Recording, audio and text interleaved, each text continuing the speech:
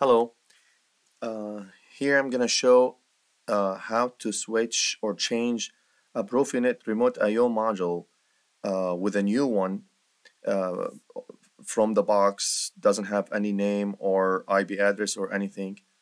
Uh, the one exists on the Ruba right now in the KUKA Aruba uh, damaged and it needs to be replaced with a new one.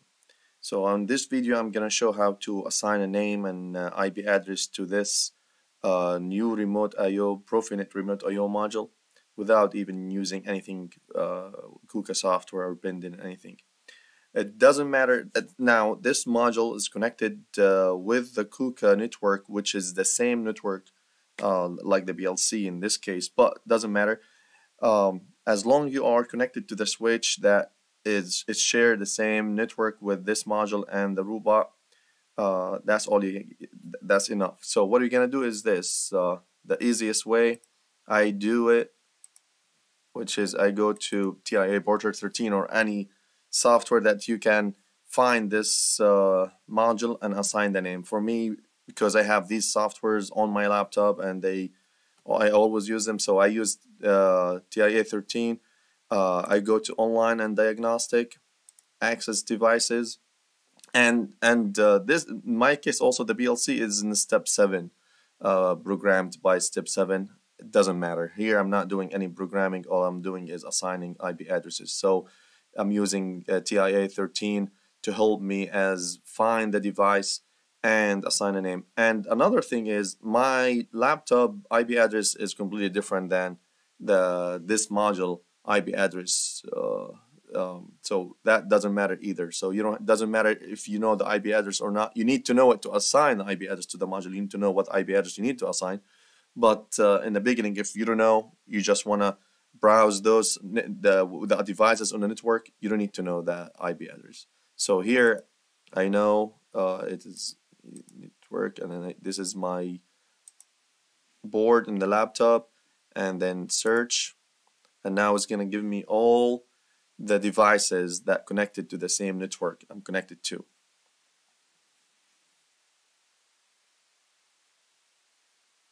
There you go.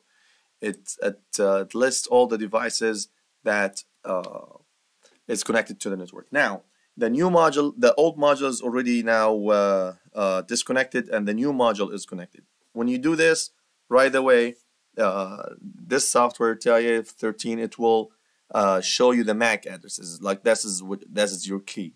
You don't know what the IP address. You don't know what the name. What is she? What, uh, here, here in my case now, this is the, the new module. Obviously, all of them has IP addresses, except this one. So this is my the new module. And without looking at anything here, just looking at the MAC address, when I look at the new device, when I connected the new device, I know the MAC address is, is, is printed on the new device, and this is the new MAC address for the new device. So here, even if the software, for example, the device got an, an imaginary IP address or it got imaginary name, which is in this case, the BLC gave it a name, but it's not the right name. I have to change it. But it gave it a name, but it didn't give it IP address. But even if uh, it gave it IP address, whatever, from the MAC address, I can tell which device I need to change or assign an IP and a new name. So in my case, this is the, the case. Now you need to know what's the name it, need, it has to be and what's the IB needs to be so you don't duplicate anything and it has to be the, it has to be the correct uh, exact name assigned to it. So uh, right here, in my case, uh, is going to be Aruba 1 actually 629DI and uh, the IB address is going to be 192 168, 1, 122. So let's go now assign these for it. So you, you press, you highlight the one you want to uh, assign a IP address and a name and you press show.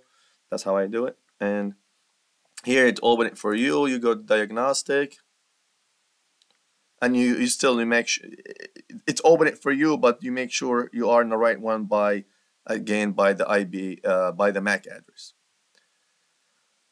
And right here, if you go to function, here you can assign the IP address, this, the IP address, and then the device name. So the device name we said it's Ruba 1 DI and the Mac and the IP address we said 192.168 1 and 122 255 255 255 and after I do that I, I say assign. Like I can let me assign the IP address.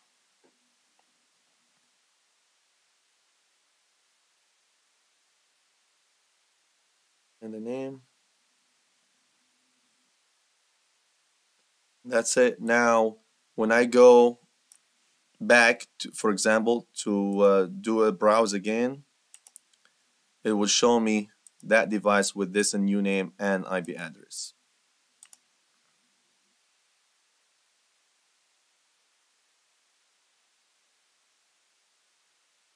This is my device. Now it shows the new IP address and it shows the new name. And uh, since this match with the hardware configuration in the Ruba and a BLC so like it's, it's good to go. Uh, I get the green light on the module. And that's it. And again uh, I'm using TIA 13 just to help me. Like nothing was programmed by this software. I'm just using it to assign the name and IP address to a Profinet device. And you can do that. Doesn't matter for the Ruba BLC any any uh, Profinet device you want to assign an IP address and a, a name to it you can use the TIA 13 or 14 or 15 whatever version you have to, sign, to assign the IP address and the name. And that's it.